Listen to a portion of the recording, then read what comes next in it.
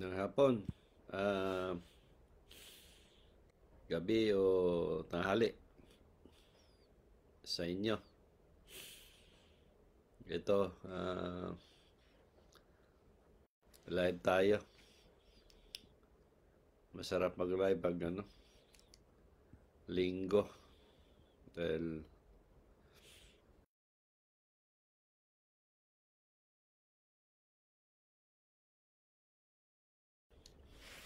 tulog ng konti. Ayun, nakatulog pala ako. Ah, maiksing mensahe lang ng ano, na mayroon. Nagbabasa kasi ako sa ano, doon sa, ano, ah, komento, ah, ng mga tao. Ah, doon sa post ni, uh, comment ni ano, ni John, ni, ah, ni, ano yan? Sinong John ang pang, ano, na play doon? ah? John ni Bado ba? Ni, sinong ano yan? Anong pangalan nun? Kalimutan ko tuloy. Yung pastor. Ako lang naawa sa pastor na yun.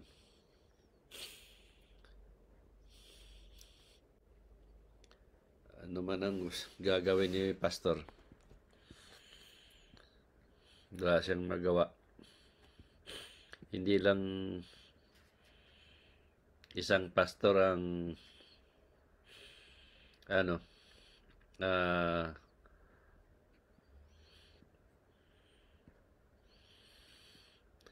nagkokomento ng pabalang dito sa akin. Anong gawin nila? Hanggang doon lang talaga sila sa komento. Maniwala kayo sa akin. Ang dami ko ng hinamon na uh, harap-harapan na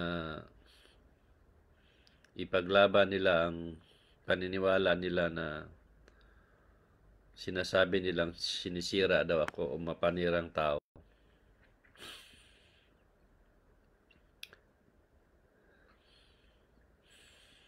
Kahit kailan ang isang tao nagsasabi ng katotohanan ay hindi natin matatawag na mapanira. Ang sinasabi ko ay may batayan kung sila nagtuturo, ang binabatayan nila Bible na gawa-gawa lang ng ninang tao. Pero ipinagpilit nila, ipagsiksikan nila o isaksak nila sa kukuti ng tao na ang lahat ng laman sa Bible ay galing sa Diyos at yun ang kaligtasan. Ako wala akong Bible, pero kaya kong lusawin ang tinuturo nila at ang Bible nila. Kung ano ang Bible o nasaan ang Bible o ano ang turo nila. Sinasabi nila na na pastor ninyo na ang turo ko daw eh haka-haka, hula-hula. Tawanan ko lang kayo. Jun Nabato. No, yan, si Jun Nabato. May isa pa. Yung isa pang, ano, bumabalagbag. Yung kanya Nabato, yun yung kun, na panood ko, o nabasa ko yung palitan nila ni Jojo Okias. Nakatulog ako. Sumigaw ang boses ng Diyos. Kagigising ko lang kasi. Na ang sabi ay empty the bank. Gugulat ako, empty the bank. Akala ko abbreviation. I aim tapos T. So na-realize ko, I empty the bank. Ibig sabihin, wala na silang i-deposit. Kung nagkataon, pag naniwala sa akin ng mga membro ni John Nabato, Dahil ako nga, na sinabihan ni John na demonyo daw ako, ah, impostor o ano, pretender o ano pa yung sabi noon, yun ang talagang masinasabi nila. O Hodas o Satanas man ang gumamit kasi nanglilin lang daw ako sa mga tao. Ang dami ko rin naloko. Na pa-smile lang ako. Kahit saan ako tumitingin na anggulo. Wala akong kahit isang taong naloko. Wala akong pinangakuhan sa lahat ng tao o kanino man. Nang gamot ako, libre. Katunayan, ako pa ang umagastos. Kasi napapakain ko sila. Natawagan ko sa telepono pag walang Facebook. Tapos nagkrusada pa ako. Marami pa akong giveaways na mga rilo. Mayroon dyan nagkaroon ng problema katulad no ni ano nag-atid sa Cebu. Ang ATM niya sa aksidenteng kinain ng bangko. Oo. Nag-groceries kami nung kasama si nung Pilipi. Hindi ko yung pinos pero may kwento ko sa inyo. Na aksidenteng kinain talaga ng bangko. Ang ATM niya is Sabado yon walang bangko ng Sabado. Katunayan, nagpunta sila sa bangko, isarado pala. Wala siyang pamasahe, wala siyang pera. So nakita ko sa ano ni mukha ni Plaza na siyempre nalungkot siya. Wala siyang pamasahe kaya bibili siya ng ticket yung time na yun. Kuha siya ng nandoon siya sa tabi ng ticketing office. Natataranta, hindi nga siya nataranta nga siya, hindi nga siya umalis doon sa tabi ng ATM nilapitan ako ni nung Felipe na ganun nangyari. Kaya naintindihan ko si Plaza kahit ako naman siguro. So sabi ko, huwag ka nang mag-alala. Uh, sa kagayan mo na lang i-follow up. Total, gano'n naman din yan eh. As, anuhin naman ang bangko yan, i-street naman yan nila. Naputol-putulin nila yan.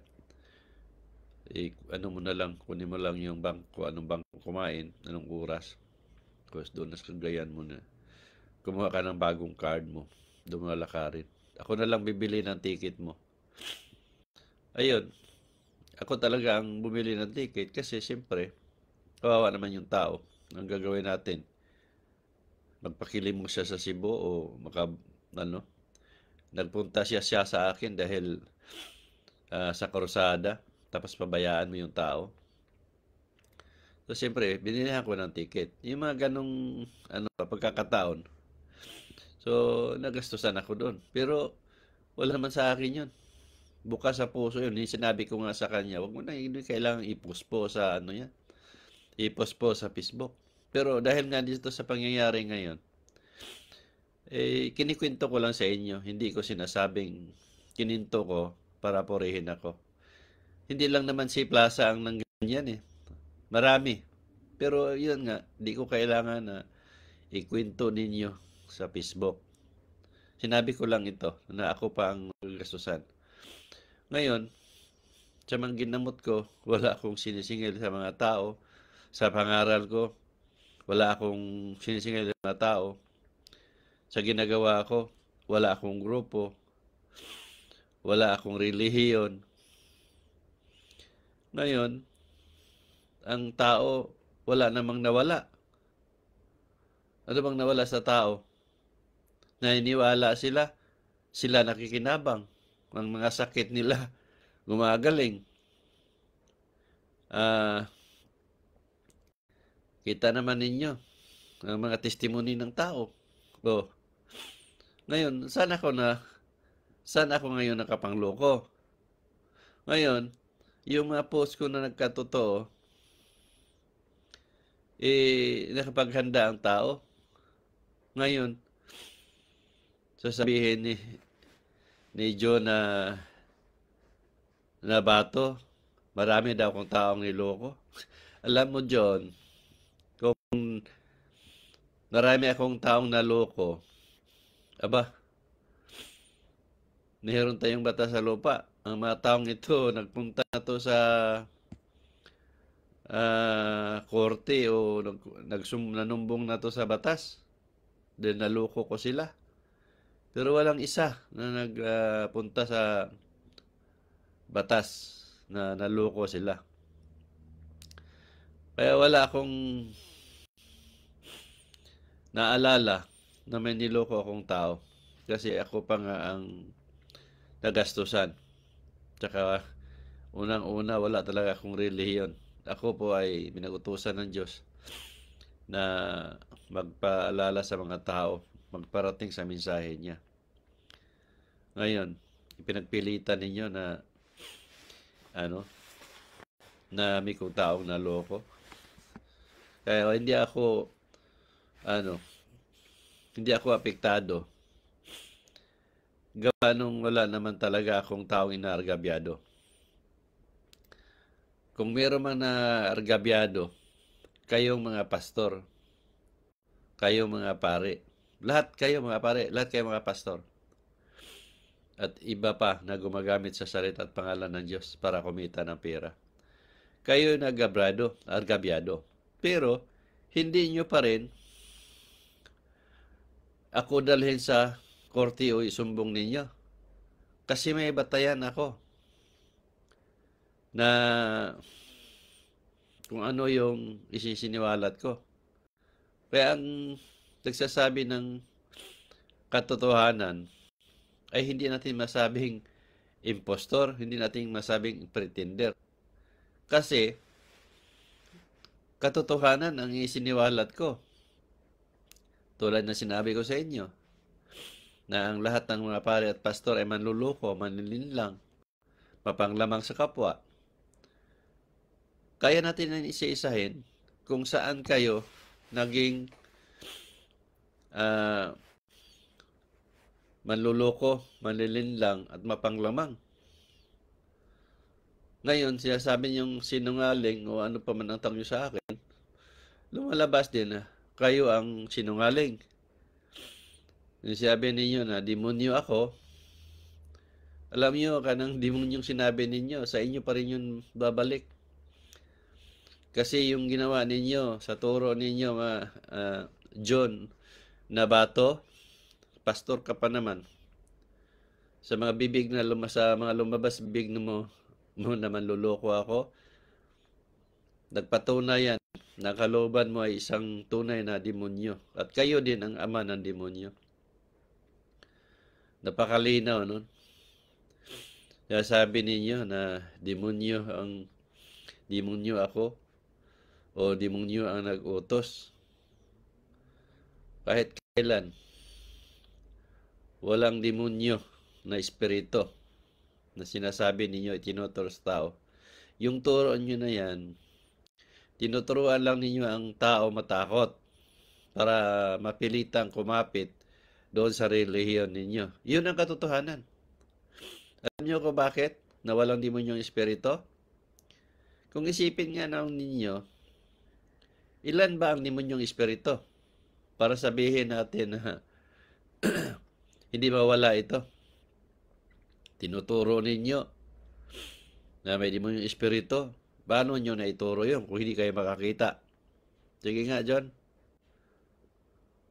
Kung hindi kayo makakita ng demonyong espiritu, bakit tinuturo ninyo?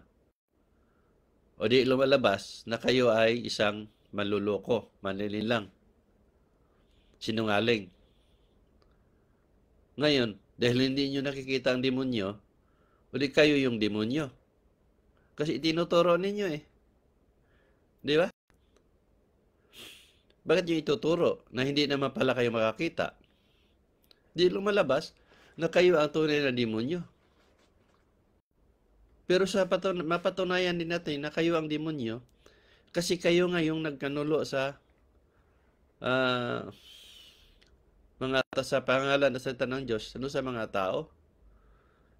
ipinagpalit ninyo sa isang katirbang pera ang salita at pangalan ng Diyos. Kaya nga tulad kayo kay Judas. O di kayo din ang demonyo na totoo. Kasi ang pinaniwala ko, ang demonyo ay tao. Ngayon, tinuturo ninyo ang demonyo na sa tao na may demonyo espiritu, di ngayon dahil tinuturo niyo, makakita kayo. Ngayon dahil makakita pala kayo na tinuturo ninyo na ito yung mga itong demonyo espiritu ay sumisira sa tao, kaya tinuturo yung binubulungan ng demonyo o ano pa man ang turo ninyo, eh mga membro ninyo, bubulungan ng demonyong espiritu, tapos titingnan mo lang. Eh nasaan yung sinabi ninyo na powerful ang dasal ninyo? May orasyon pa kayo, ika nga. Hulihin nyo na ang demonyo. Ngayon, pag hinuli nyo yan, dahil nakakita nga kayo, gawa yung itinuturo ninyo. Ngayon, sunugin. O ngayon, pag nasunog na, nasunog na ninyo ang demonyo, o di, wala nang demonyo ngayon na mabulong sa tao, o mag-utos doon sa tao, o doon sa membro ninyo. Turo pa nga ninyo.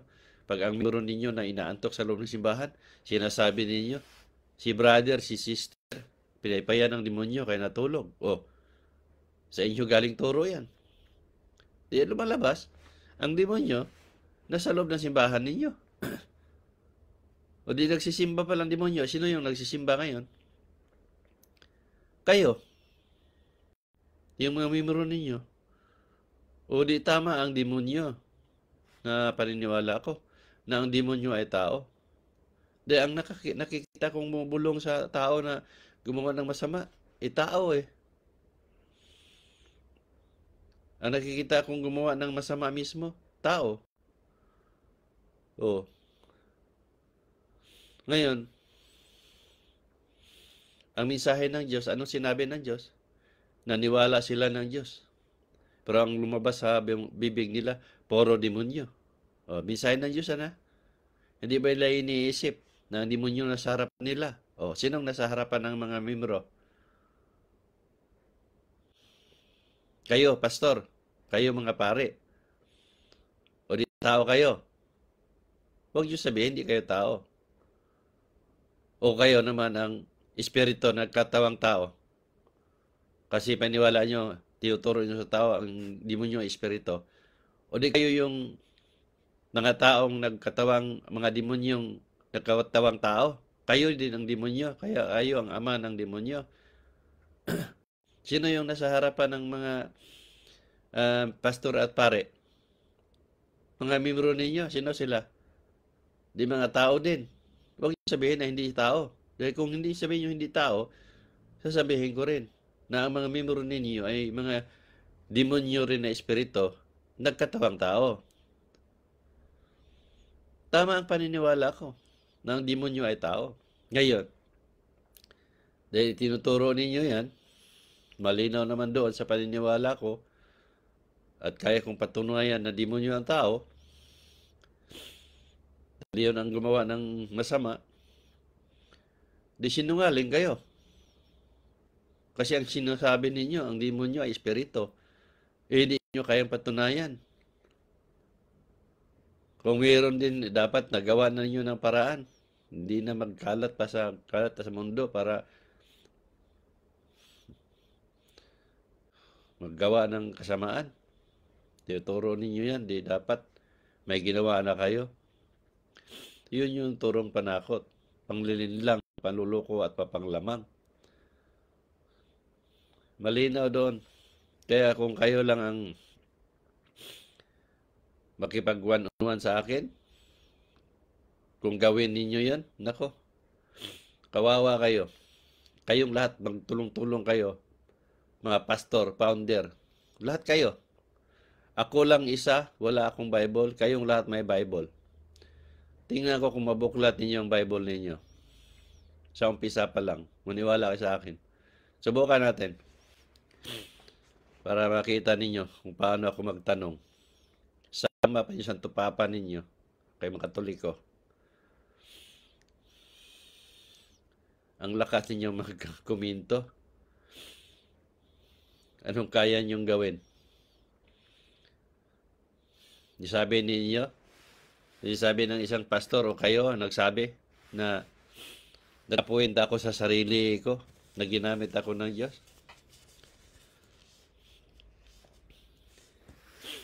Hindi ako nag-appoint. Sinabi ng Diyos yan.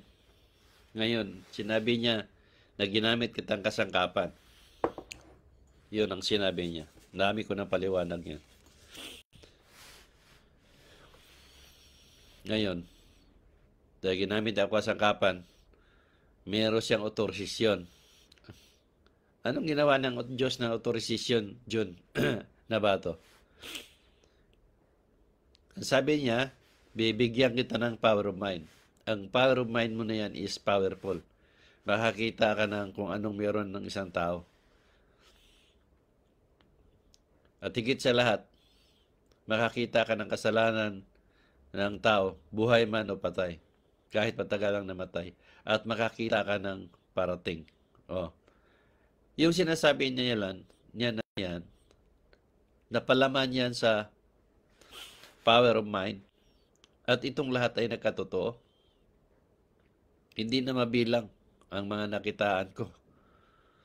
Maliban sa mga nagtestimony, Marami akong recorded na nakitaan na hindi alam ng tao. Boses ko makapagaling. Yan yung sinabi ng Diyos. Manggamot ka at mangaral. Maniwala lang tao sa iyo ginamit sa kapan. Boses pa lang ang marinig na tao sa iyo. Gagaling sila. Pero gagaling sila is paniniwala nila. Ngayon, yung pastor na nagsasabi yung ikaw ba yun o yung isa pa na ganun pala magpagaling pala ang boses ko Di pumunta ko sa ospital, maraming may sakit. Di parang maling sila.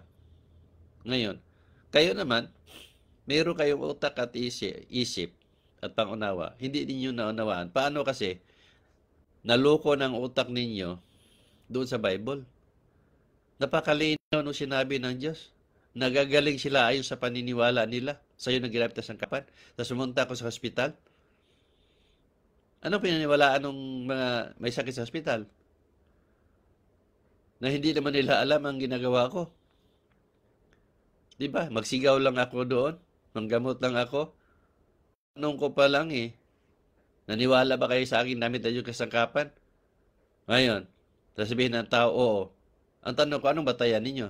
Na ginamit ako ng Diyos. Wala silang nababasa. Wala silang naririnig. Ngayon, gagaling sila. Hindi sila gagaling. Kasi nandoon ang sinabi ng Diyos eh. Gagaling lang ang tao. Pag naniwala. Eh wala na sila paniniwalaan eh. Yung na, naniwala lang sila sa pandinig nila na ginamit ako sa kapat, gagaling sila. Hindi yon Kaya kayo, putak lang putak kayo, o kayo na wala pala kayong balang dala, kawawa kayo. Isang tanong ko pa lang sa inyo. Mamilipit na kayo. Bumabalagbag kayo na wala pala kayong dala, ay balik sa inyo lahat. Kaya sabi ninyo, na pretender, the great pretender ako, o exalted ba itong isa pa sinabi? Nako. So, ano man nasabihin ninyo sa akin na masasakit, hindi ako apektado. Hindi ako nasasaktan ng ganun lang. Kasi alam ko na totoo ang ipinarating ko. Malinaw sinabi ng Diyos, iligtas mo ang mga tao. Ituro mo ang tamang paniniwala. I-correct mo o baguhin mo ang turo sa simbahan. Malinaw yon. The words of God of Sikang coming. Hindi siya nasabi ni Diyos na magtatag ako ng reliyon. Kaya may nagtanong sa akin na ano, Italian. Na ano daw grupo ko. Sabi ko, wala akong grupo. Ako ay nagparating lang ng mga misaya ng Diyos bilang paalala for sikang coming. Kaya hindi nyo masabi ako manluloko. Tatawanan ko lang kayo, John, na bato. Ano man sasabihin ninyo, sige lang. Alam ko talaga, kayo din ang makikinabang. Siyempre naman, magsumikap kayo na ipagtanggol ninyo ang paniniwalang itinuturo ninyo sa tao. Kasi nga, kung hindi nyo ipagtanggol yan, kayo din ang magugutom. At yun ang sinabi ng Diyos. Darating ang panahon, nagugutomin natin sila. O, natin ha, sabi niya. O, kaming dalawa. Ako ang nasa harapan ng mga tao, nagsasalita, gamit ang mensahe at salita ng Diyos. Plus backup ng Diyos. Na power ng Diyos ang kumikilos. Yung power of mind na ipinagkaloob sa akin para magagamit ko na magpaliwanag sa mga tao o magsulat para sa mga tao na makita ng tao na tunay nga akong ginamit. Itong backup niya na power of mind. Kaya ang mga sinisulat ko, nagkatotoo. Kaya yung mga taong ginagamot ko, makitaan ko na hindi nila sinasabi, nagugulat ang mga tao kung paano ko nalaman. Kahit tumatay ang tao, kahit buhay pa ang tao, wala pang sakit, masasabi ko, na hindi na magtagal ang taong yun at mamatay din. Marami dyan. Kayo, John Nabato o ibang pastor pa, mga pare. Sa 12 years kong ginawa to, matagal nang namayagpag kayong lahat. Kayong ng lahat nagsasabi na pinag-utusan kayo ng Diyos. At sino, sino ngayon ang tatawagin nating nag-appoint sa sarili? Kayo? O ako? Ako na sinabihan ng Diyos na number one kitang napili. Ikaw ang napiling number one. Bibigyan kita ng power mind. Manggamot ka at mangaral. At anong laman pa ng power mind? O kayo, nagsasabi sa mga tao na pinag-utusan kayo ng Diyos. Pero ang dala ninyo laway lang at yung Bible ninyo, nagawa-gawa lang ninyo. Sige nga, sino mas patimbang sa inyo? Ako, na buwan pa lang ang bilang, araw ang bilang, linggo ang bilang, o taon ang bilang, isinusulat ko bago mangyari. Tapos sabihin ninyo, demonyo, para malinlang ko ang tao. May demonyo ba na mabuti ang kabutihan ng gawain? May demonyo ba na humihiling doon sa mga tao na tatlo lang ang kailangan niya sa tao? Pagbabago, pagsisisi at lubos sa paniniwala? Ibig sabihin, demonyo pala si John the Baptist noon na pininiwalaan niyong apostol. Kasi yun ang pinagsigawan ni John the Baptist. Repent, change, at faith, di ba? Nags, nangaral si John the Baptist, walang hawak na Bible. Wala siyang binabanggit na mga verse. Si Jesus Christ no, na, nangaral din. Wala namang Bible siyang hawak kasi wala naman talagang Bible. So, sa edad ninyo, ilang generasyon pa lang, sa generasyon pa lang nga lang ninyo, sa ko sa simbahan niyo, ilan lang yung uh, nagsimba. Lima na lang yata yun. O bago lang kayo nagtatag ng reliyon. Ngayon, sasabihin ninyo, kayo ang maligtas. Ang tanong ko pa lang sa inyo, eh, naasa napunta itong mga taong hindi nyo katulad ng reliyon dahil pinagsigawan nyo na kayo ang maligtas. Sagutin ninyo ng tama. At marami pa kong isa sa tanong sa inyo na sisiguro ko sa inyo. Malusaw kayo. Kaya kong lusawin ang paniwalang itinuro ninyo. Kayo ang tunay na makapal ang mukha dahil sinabi mo sa akin ang kapal ng mukha ko. kahit kailan, hindi ko mapalang mukha ko. Dahil wala akong inagyabiyadong tao. Kayo ang makapalang mukha. Dahil mga tinuturo ninyo ay kasinungalingan. Kayo ang self-appointed, nag-appoint sa sarili ninyo. Na pinag-utusan kayo ng Diyos. Alam ninyo, kung pag-utus, pinag-utusan ka ng Diyos, may backup sa inyo ang Diyos. Isabihin, sila Noah, na may backup ang Diyos. Sabihin ninyo, na si Noah eh, demonyo ang gumamit para linlangin ang mga tao o sino pa yung mga apostol na may backup ang Diyos sa kanila. Demonyo din ang gumamit. Bakit pinaniwalaan ninyong apostol yon? Di ba? Tapos ako, nagtambak ang kaya kong gawin ayon doon sa mensahe ng Diyos na power of mind. Tapos sabihin ninyo, demonyo ang gumamit sa akin.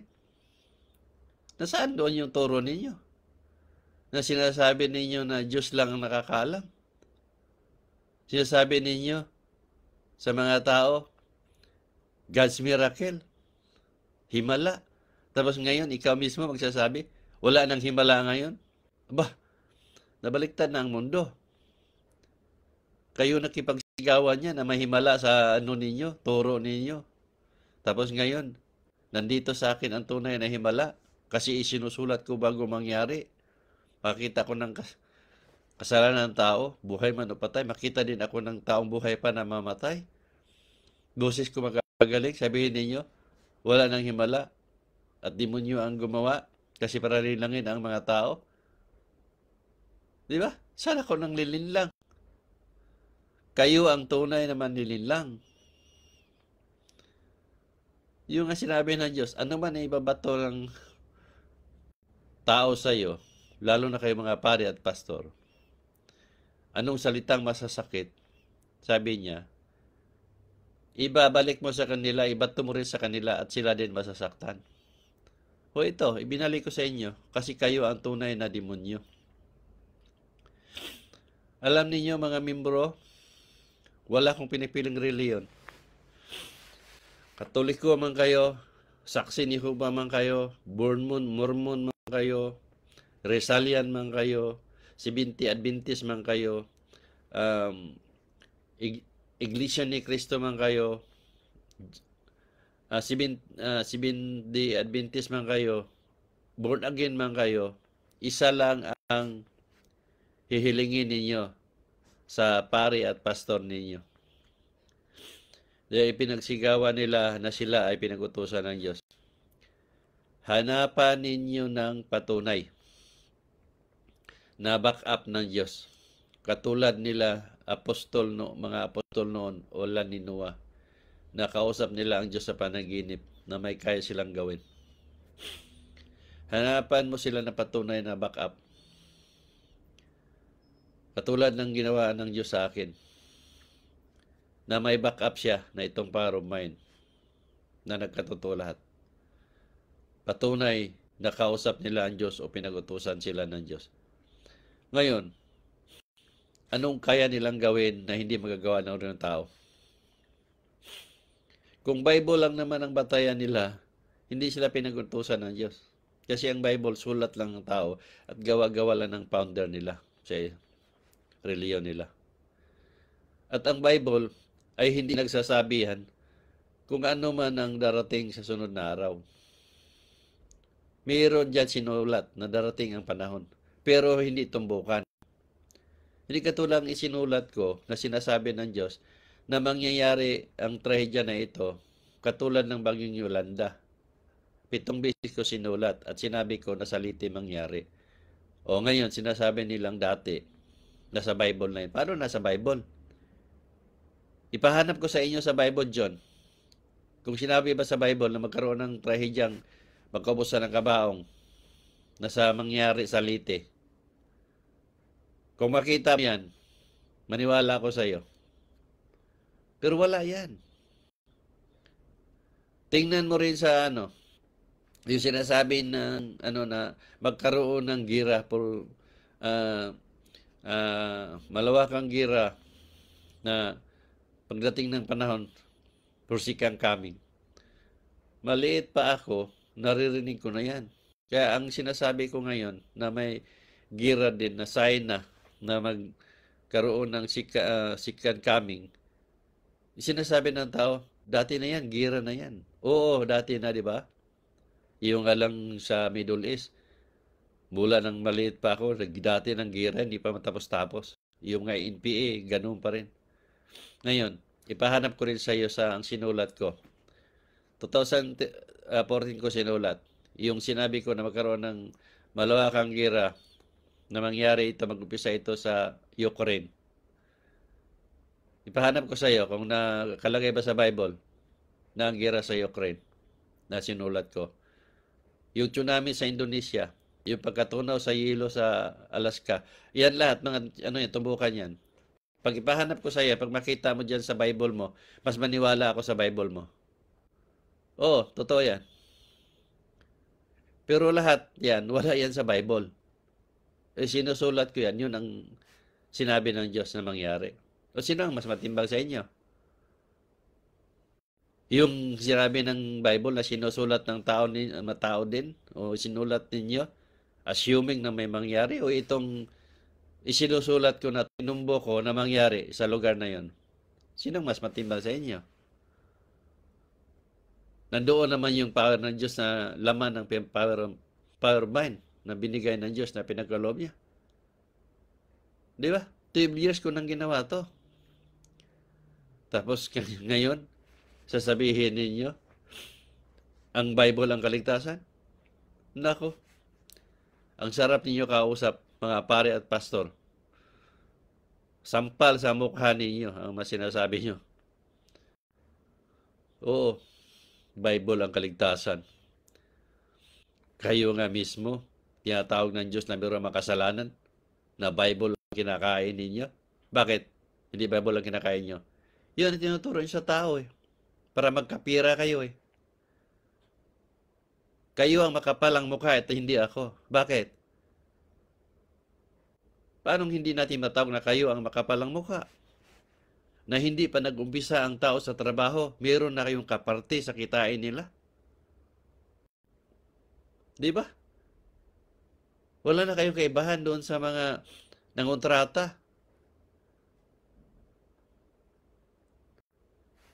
Na binawasan ng pasweldo sa tao ng ilang porsyento para sa kanila. Di ba? Sa halip magsweldo ng 200, 150 na lang. Bawat isang tao meron silang 50. Walang kaibahan kayo. Tinuturo nyo sa tao na sinabi ng Diyos na ang 10% ibalik sa Diyos. Anong balik sa Diyos? Kumakain ba ang Diyos? Gumagastos ba Diyos ang pera? Sino, sino ang gumastos ng 10% na ipinataw nyo sa membro? Kayo mismo. Binibili nyo ng kung gusto ninyo. Mga ari-arian ninyo. Sa mga bangko ninyo. Mga gamit ninyo. Mga sasakyan ninyo. Di ba? Ah, sino ngayon makapalang muka? Hindi kayo. Kaya nga hinantulad kayo sa isang surot. Ang surot na bubuhay sa dugo ng tao. Ganon din kayo. Sumisip-sip kayo sa kakita ng tao.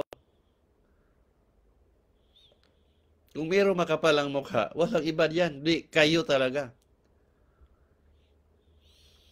Ang kapalang mukha mo, magsasabi ka ng kapalang mukha ko, may batayan ka ba? Meron ba akong mga taong nagabyado? Yun ang sinasabi ko sa inyo. Para kayong kumuha ng malaking bato at pinukpok sa ulo ninyo.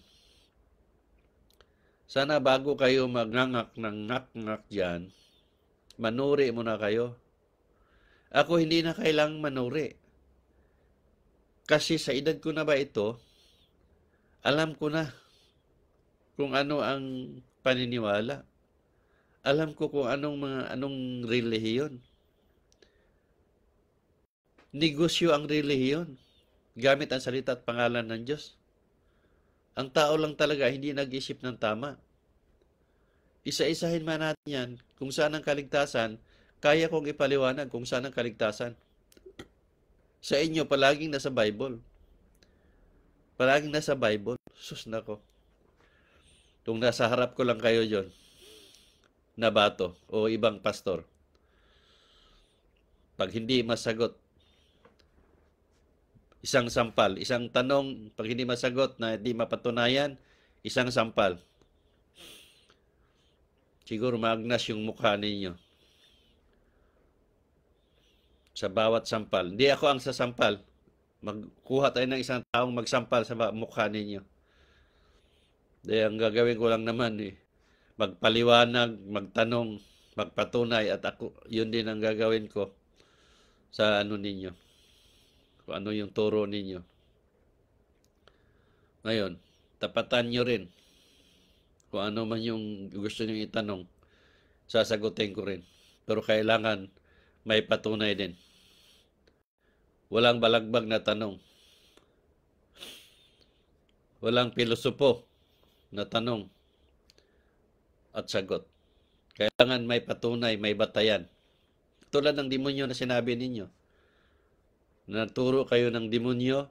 Pag tinanong ko dahil tinuturo ninyo, then kaya nyo bang patunayan na ang demonyo ay espiritu? O, anong patunayan ninyo? Ganong klaseng tanong. Dahil tinuro ninyo, ibig sabihin nakita ninyo. Ang tamang sagot doon, oo, nakita. O bakit ninyo hinuli? O nakita na pala ninyo? Ganon dapat. Hindi yung, hindi namin nakita. Kasi ang tanong ko doon sa sunod, eh bakit mo itinuturo? Na hindi mo pala nakita. Lalabas na ngayon, na manluloko kayo, manlilin lang. Isang sampal na naman. Ganon ang gagawin natin. Kayong lahat, mga pare at pastor.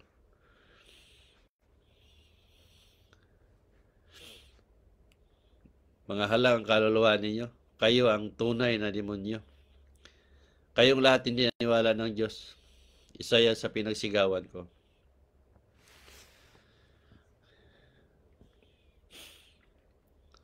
Kaya kayo mga membro, mag-isip-isip kayo habang may panahon pa. Pinagluloko na kayo ng mga pare at pastor ninyo. Nakangiti pa kayo. Nakang, nakatawa pa kayo. Humahalik pa kayo sa kamay nila. Utos-utusan pa kayo. Di ba? Tapos yung pala, pag namatay na kayo, padas padasalan kayo para iligtas. Nasaan yung si pagsilbi ninyo sa simbahan? Nasaan yung pagbasa ninyo ng Bible? Nasaan yung pagbibigay ninyo ng abuloy o tithe? O ikapo? Na hindi pala kayo naligtas doon? Kaya pag namatay na kayo, pamisang walang katapusan, padasal walang katapusan, para iligtas daw kayo? Sige nga. Dito natin makikita ang turo na kasinungalingan, ang turong panluloko.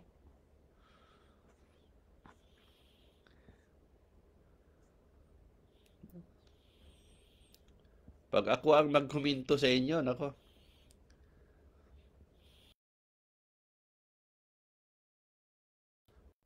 Ang dami kong itatanong sa inyo na dapat yung sagutan, sagutin na may batayan at patunayan.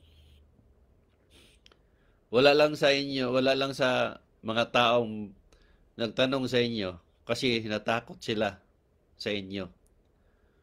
Bakit natakot sila sa inyo, mga pastor at pare? Yung turo ninyo, nakakarmahin ang tao. Turo ninyo ang karma para walang bumabalagbag sa inyo at walang pumuna sa inyo para magpatuloy ang kasamaan ninyo. Siyempre, ikaw ba matakot na may karma? Karmahin ka pag pinuna mo ang pastor at pare. Kaya todo samba sila, todo tingala sila sa inyo. Pero kung totoo ang karma, isa yan sa hindi ko pinaniwalaan. Kung totoo ang karma, eh, hindi na ako aabot ng 12 years sa ginawa ko na to. Pagtapon pa nga lang ng Bible, noon pa sana ako kinarma kasi noon pa naman ako nagtatapon. Sa hindi pa lang ako magpaniwala sa Bible, noon pa dapat. kinarma na dapat ako. Sa pagpuna ko sa inyo, mga pare at pastor, 12 years na, kung isiniwalat, dapat kinarma na rin ako. Bakit naman hindi? Nanatili akong buhay. Nabubuhay ng normal at simple. Di ba? Nasaan yung karma tinuro ninyo? Doon sa mga tao. Yun yung sinabi ko sa inyo, mga turo ninyong panakot. Tinatakot ninyo ang mga tao. Kayo mga tao kasi hindi nag-iisip ng tama. Kaya panahon na, kayo mga membro, mag-isip-isip kayo. Pag hindi ka kayang patunayan ng mga pare at pastor ninyo na walang kayang gawin, na ang makagawa lang ay ang may kakayahan lang gumawa ay power ng Diyos. Pag wala sila niyan, pero para saan pa? Na magsam, magsimba kayo? Para saan pa magkaroon ka ng reliyon? Na hindi naman pala nilang kayang patunayan. Lumalabas na ang mga taong ito nang luluko, nang lilinlang. Ba't di nyo maisip yun? Kaya ako, ako sa inyo, itigil na ninyo ang pagsimba. Walang ginawa sa inyo. Maniwala kay sa akin.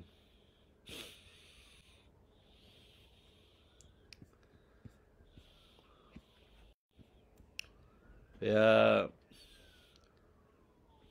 hanggang dito na lang. At least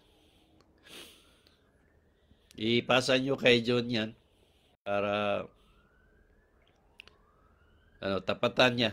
Kung gusto niya ng Zoom, ay, bukas palagi ako. Lahat ng pastor, lahat ng pare, sama sa to papa. May Bible verse, wala. Isang tanong, isang sagot. Pag hindi niyo kayang patunayan, ang lahat ng pera ikinulimbat niyo sa mga membro, hati-hatiin ang mga membro. Kung ano mang meron kayong ari-arian, ibinta lahat yan. Tapos hatiin sa mga membro. Kung hindi nyo kayo patunayan ang sinabi ninyo. Kaya ang lahat ng sinasabi ko, kaya kong patunayan. Nakausap ko ang Diyos. Ganun lang kadali. Hindi na tayo maraming daming kung ano-anong alibay. So mga nang hapon, God bless sa lahat na nakikinig. At more power.